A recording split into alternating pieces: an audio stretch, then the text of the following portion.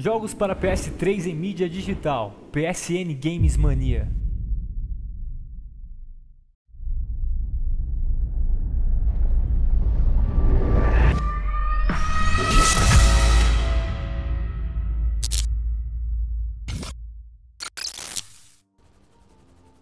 E aí pessoal, tudo bem com vocês? Sunny Black outra vez E dessa vez galera, trazendo sem dúvida uma das melhores zonas secretas de GTA V Bom pessoal, como eu tenho mostrado pra vocês, assim como outros canais aqui no YouTube, tem várias zonas secretas dentro do GTA Online, que são áreas que a gente até tem acesso no modo história do jogo, mas no modo online são bloqueadas. E hoje, como vocês já devem ter visto aí no título, eu vou ensinar vocês a entrarem no prédio do EAA, que seria a paródia da CIA, né, dentro do GTA V, que a gente faz até aquela missão de resgate ao cara dentro do prédio.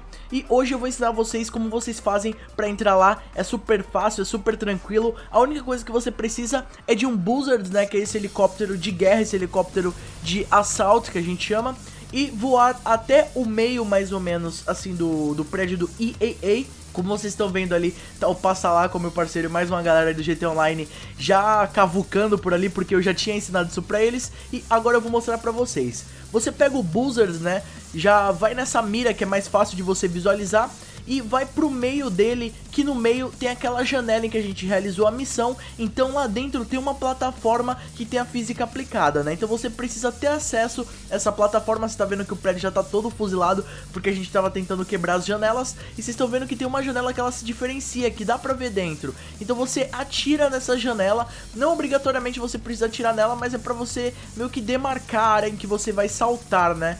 E você atira ali pra você ver que realmente tem uma física ali dentro e é ali que a gente vai entrar. Agora você me pergunta, beleza Sam, já, já atirei ali, agora como é que eu vou fazer pra entrar ali dentro? Bom, você sobe o helicóptero até uma altura considerável e pula de paraquedas. E já abre logo o paraquedas e você vai ter que ter a mira boa para poder conseguir entrar dentro do prédio e aproveitar tudo que tem lá dentro. Vocês estão vendo aí que eu consegui depois de muitas tentativas, mas consegui entrar no prédio, vocês podem ver que tem um andar completo pra gente explorar, tem mesas, tem muitas coisas bacanas aí dentro. É, é o, o, escritório completo, né, galera? Tem muita coisa bacana aí dentro pra você explorar, tem CDs, é, peças de informática, tem copos de café, o andar tá completo aí pra gente explorar, tem algumas salas que a gente pode entrar também. Então, é, sem dúvida pra mim, na minha opinião, essa é a zona secreta mais divertida do, do, GTA V, dessas zonas que o pessoal tem encontrado. É uma das zonas mais fodas que tem pra você explorar. Ela tem uma vista incrível, né? Eu recomendo vocês tentarem fazer isso de noite, porque a vista da cidade é completa, é muito bacana. Então vocês podem ir dar uma entrada. Tem algumas salas que você consegue ter acesso lá no corredor. É, tem sofá, né? Tá, tá bem bacana.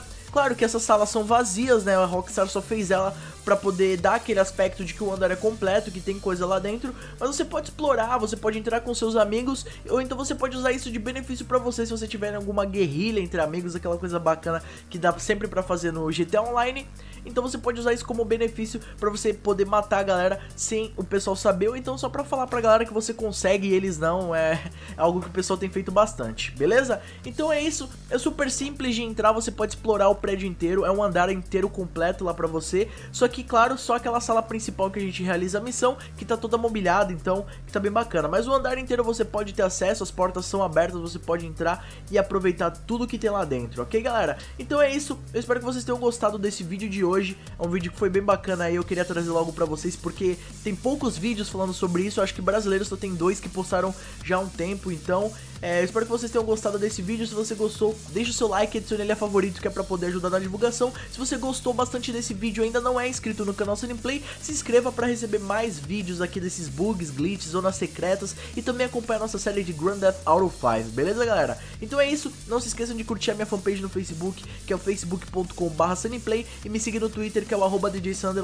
porque de vez em quando a box do YouTube buga e vocês não recebem os vídeos novos que saem aqui do canal. Mas curtindo a minha fanpage e me seguindo no Twitter, sempre que sair vídeo novo você vai ficar sabendo. E aqui na descrição também tem o link da nossa extensão pro Google Chrome e Mozilla Firefox, que sempre que sair vídeo novo ou live stream, você fica sabendo sem precisar estar tá conectado ou no Facebook ou então aí no canal do YouTube, beleza galera? Então é isso, espero que vocês tenham gostado do vídeo de hoje.